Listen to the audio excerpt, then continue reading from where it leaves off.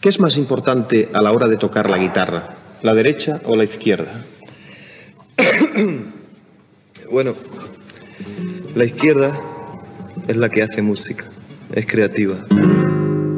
La izquierda es inteligente, luego la derecha es la que ejecuta.